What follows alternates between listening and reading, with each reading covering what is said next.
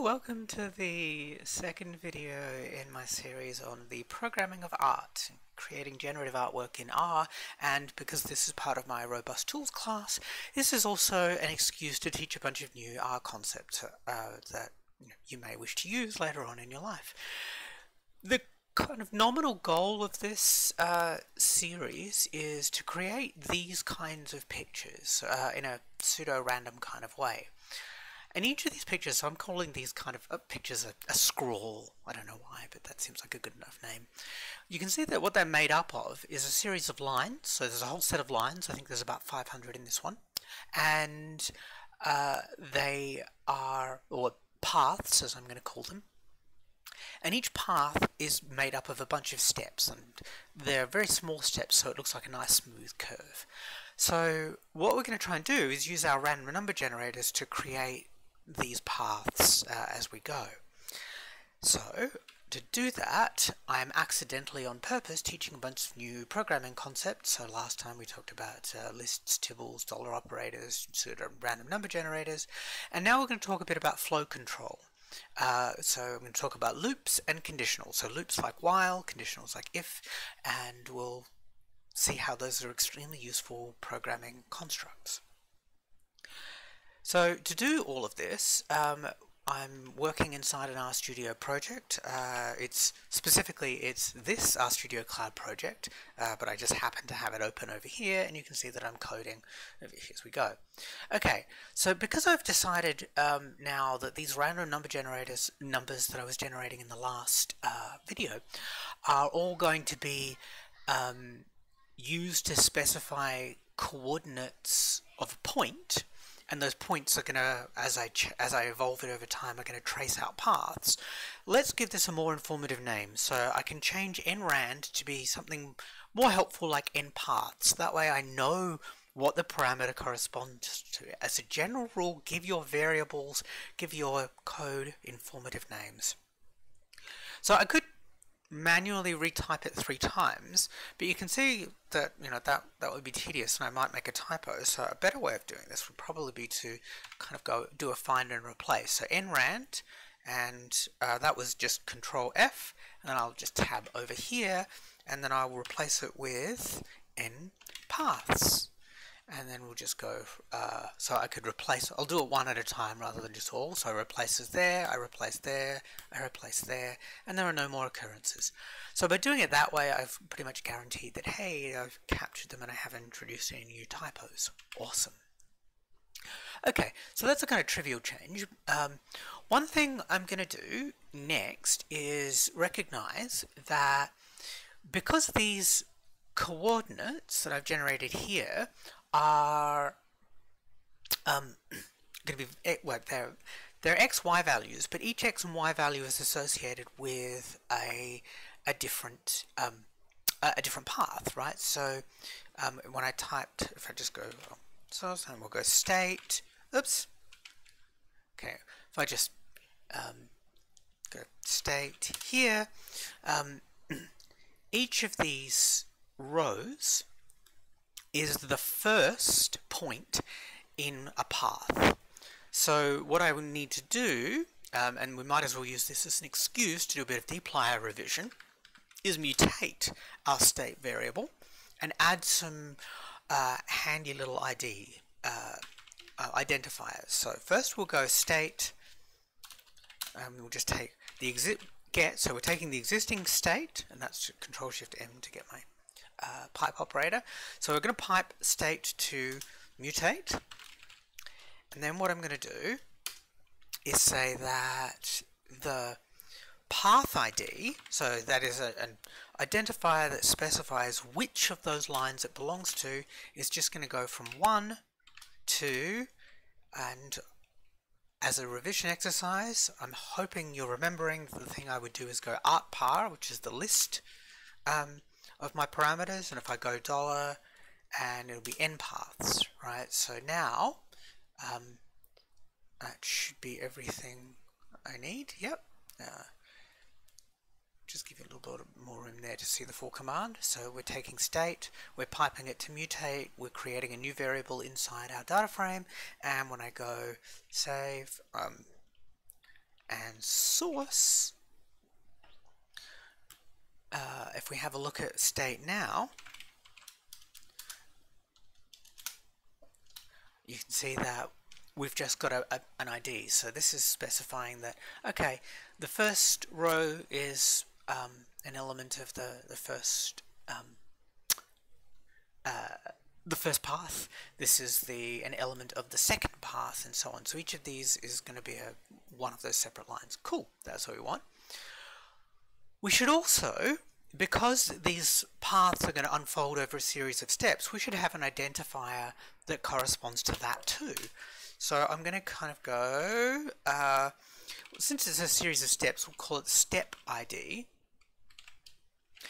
Uh, so there's an identifier for that too, and it's just going to be equal to 1. So it'll be 1 for every single element in the table. Let's just check that, source it, and go back up here, and go clear screen, and go state. And okay, so the we what we now have is the complete state of um, or almost complete state of the picture at time or step zero. And then we're just going to go through a sequence of steps over and over and over again making those lines longer. Um, at the moment we can't see anything so it's really boring. Um, so but it'll start getting interesting hopefully as we go through this okay so the thing we're going to want to do uh, next is uh, make a decision about how long those paths should be. How many steps should we uh, have this run for? So let's just add another parameter to our um, our list and we have n steps. And I'm just going to say that that's equal to 80 steps for no apparent reason.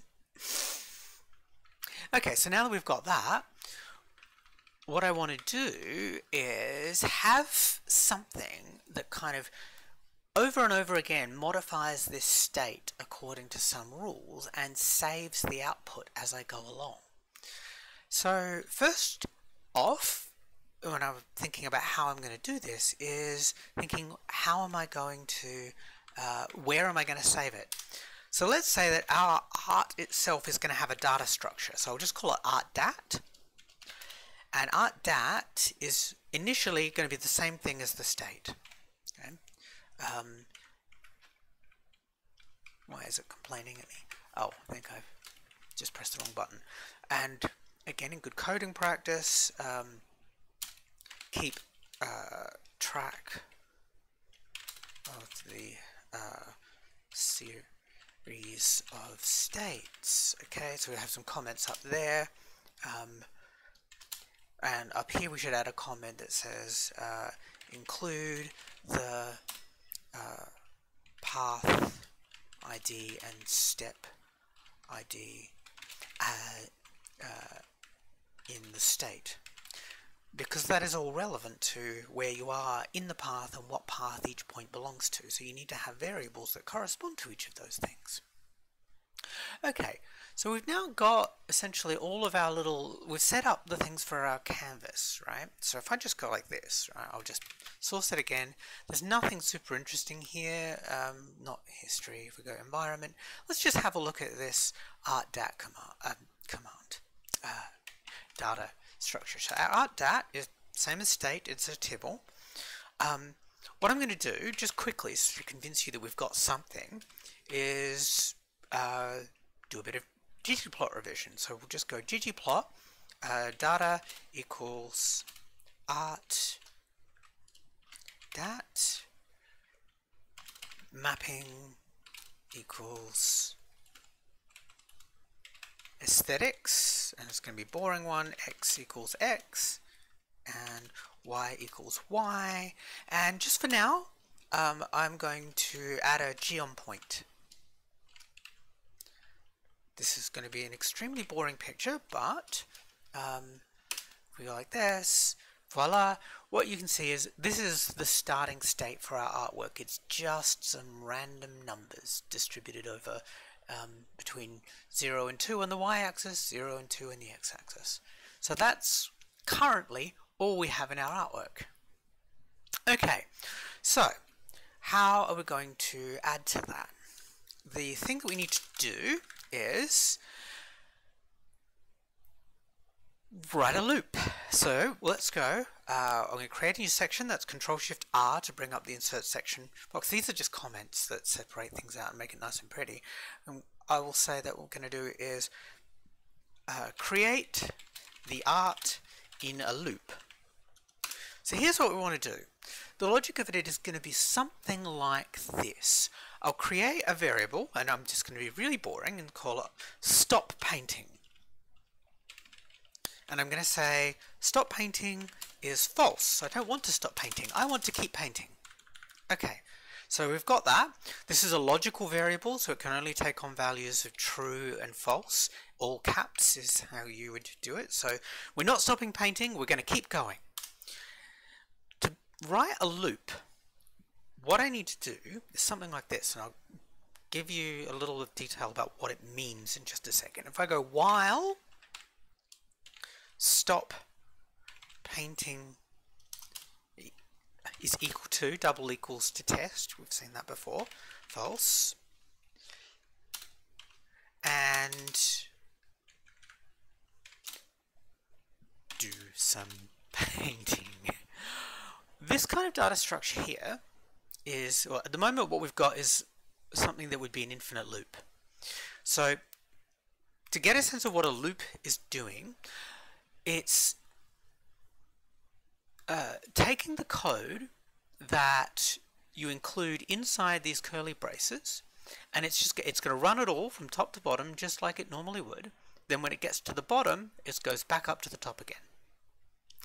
It then checks this condition here and says is stop painting still equal to false?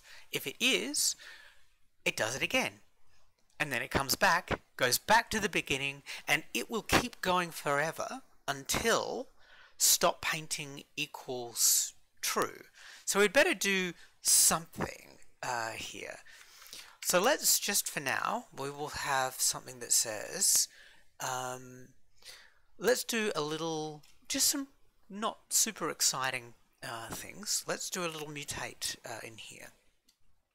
So I'm going to go state equals, we'll take the existing state, and we'll go just mutate it inside a loop. We're going to mutate it? Yeah, we'll mutate it, but actually what I'm going to do is overwrite existing variables. Okay, mutate, um, and I think what I'll just do is uh, x equals x plus, um, Don't know, 0.1, y equals y y. We'll leave y unchanged. In fact, let's just do that, okay? So we're going to keep doing this, um, and at each time point, I want to say something like, I better keep track of um, whether I want to stop painting. So let's say uh, I will stop painting after some number of steps. So initially we are on step 1. So step ID equals 1. Alright, so maybe what I should do is every single time I will go step ID equals step ID plus 1. So now, every single time we go through this code, what we're going to do, what it's going to do is it'll take the existing state, that tibble that we've got, it'll add something to the x value, it will increment the step by one, and then it'll go up to the stop top, and it'll keep doing this forever. We still haven't given it any rule that says um, stop now. So if we go, the simple rule would, a simple thing to make it stop would be something like this. I'm going to have an uh, if statement. If the um, if state if we grab the last this is a function in dplyr last state um, step id is greater than or equal to, what did we have it before? Art par, dollar n steps. Again, open up some squiggly braces, and then we'll go stop painting equals true. Okay, so the what this is doing is it's grabbing from the cut from it's just grabbing the it's looking at the state tibble it's grabbing the step ID column and it's just grabbing the last value from that column. If that value is equal to uh, step ID oh sorry is it, if that value of step ID is greater than or equal to the number of steps that we said we would do then so if this thing here is true then what we do is go stop painting we're just going to set that to true. So now what our loop is going to do is it's starting here saying currently we don't stop painting we're going around, we mutate it, we increment our step counter, we check to see if we've done our steps for the for the loop.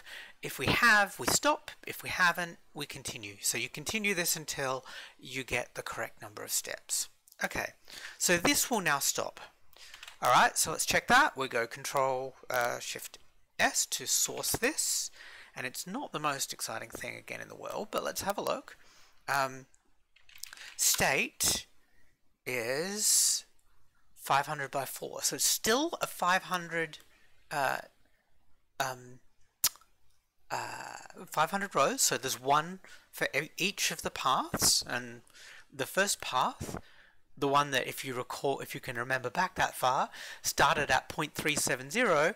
Um, we've just been incrementing the x coordinate bit by bit by bit. Um, and as we've gone, after 80 steps, it stopped. So what we have now is something where we just changed that state 80 times in a row and then stopped. That's the key idea in a loop. Now this code, I should say, is extremely inefficient um, in the sense that I could do this with far fewer uh, far fewer words, far less code than this.